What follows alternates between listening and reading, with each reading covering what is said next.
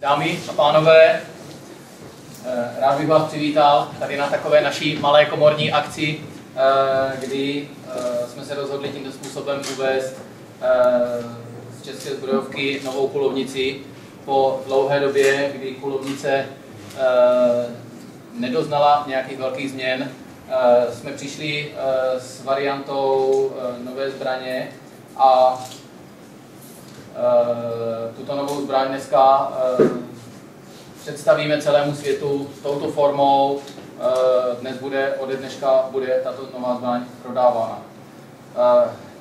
Rád bych přivítal pár lidí z našich řad a z našich přátel. První, koho bych rád přivítal a vysvětlil jeho přítomnost tady, je pan Karel Roden. O něm se málo ví, že je to myslivec a Eh, velký ochránce přírody, eh, tak jsme se nakonec dohodli, že eh, nám pomůže tady této zbraní v tom uvedení do světa a nakonec jsme se dohodli dokonce na tom, že se stane křesním otcem tady této zbraně, že ji pokřtí a spojí s ní tímto své jméno. Druhý, koho bych rád přivítal, je pan Ladislav Britanák, obchodní ředitel České zbrojovky, a třetí, koho bych tady rád přivítal s náma nahoře, eh, je člověk, který, díky kterému by tato zbraň vůbec nebyla. To je Vítěz Sedlák, eh, konstruktér tady této zbraně. Tady proto, abych zbraně nějak pomohl jako jí zviditelnit na tom domácím trhu a vůbec. Jako, já, já bych ji popřál, aby se stala takovou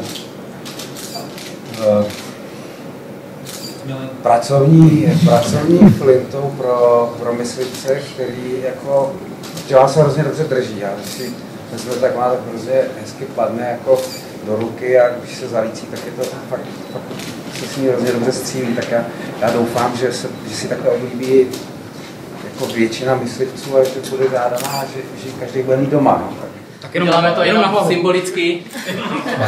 to netrezne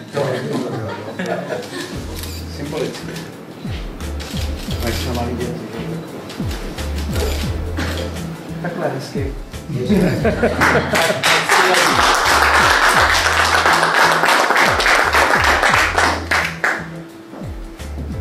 Tímto bych i já této zbraní popřál krásný její produktový život. Věřím tomu, že se jí bude dařit, protože eh, jsme do ní vložili kus svého života a eh, myslím, že podle toho taky vypadá a vypadat bude. Ať se jí daří.